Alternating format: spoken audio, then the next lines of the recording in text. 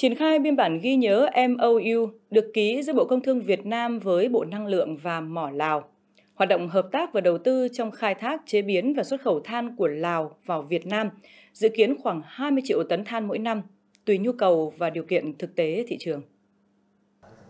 Tại hội nghị thúc đẩy hợp tác mua bán than với Lào vừa được tổ chức, lãnh đạo Bộ Công Thương cho biết, những năm qua, hợp tác song phương giữa Việt Nam và Lào trong lĩnh vực than đá đã có bước khởi đầu lạc quan.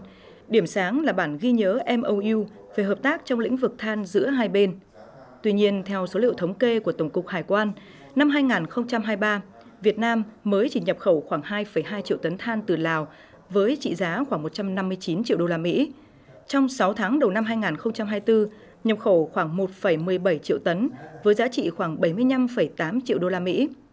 Đại diện các đơn vị liên quan tham dự hội nghị cho biết,